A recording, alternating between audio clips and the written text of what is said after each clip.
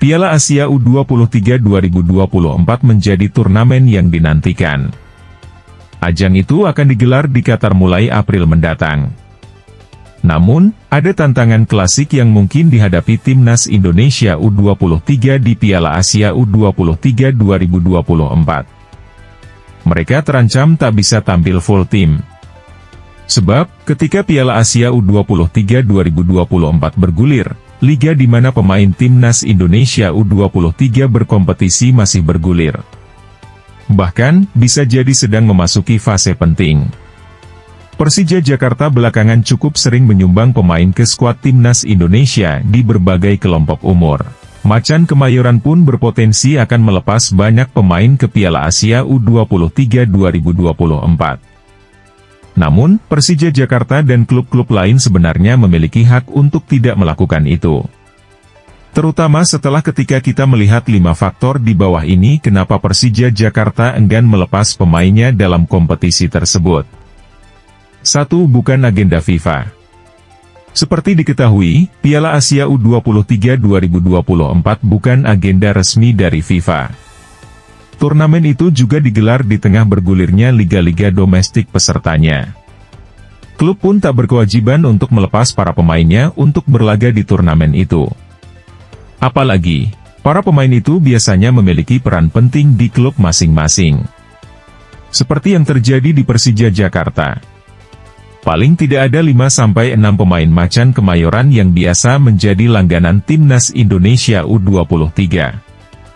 2. Standar ganda Ada standar ganda yang terjadi dalam pemanggilan pemain di berbagai level timnas Indonesia. Terutama jika membandingkan apa yang dirasakan klub lokal dan luar negeri. Pada Asian Games 2022 yang berlangsung pada 2023 misalnya, para penggawa timnas Indonesia U23 yang berlaga di luar negeri tak bisa dipanggil.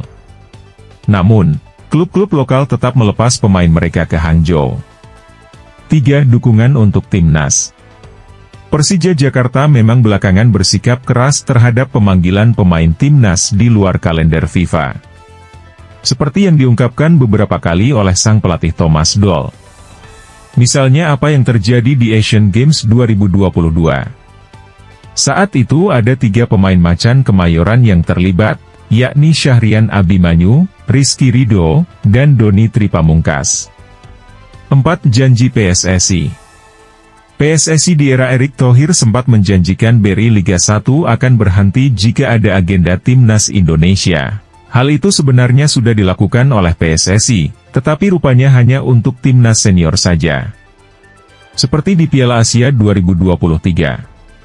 Saat itu Beri Liga 1 2023 hingga 2024 juga berhenti sejenak. Sialnya, banyak penggawa andalan timnas Indonesia senior yang masih cukup umur dan bisa bermain untuk timnas Indonesia U23 di Piala Asia U23 2024. 5. Komunikasi buruk Ada satu pekerjaan rumah yang dimiliki oleh pelatih timnas Indonesia U23 Shin Taeyong yakni dalam hal melakukan komunikasi dengan klub.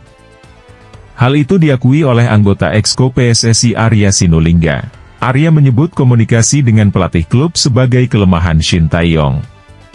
Selain alasan-alasan tersebut, Persija Jakarta juga memiliki tanggung jawab untuk mempertahankan kekuatan tim demi meraih prestasi di tingkat nasional. Oleh karena itu, keputusan untuk tidak melepas pemainnya ke Piala Asia U23 2024 merupakan langkah yang tepat bagi Persija Jakarta. Demikianlah ulasan tentang mengapa Persija Jakarta berhak untuk tidak melepas pemainnya ke Piala Asia U23 2024. Tetap pantau terus channel kami untuk informasi lebih lanjut seputar dunia sepak bola. Terima kasih telah menyaksikan, sampai jumpa pada video selanjutnya.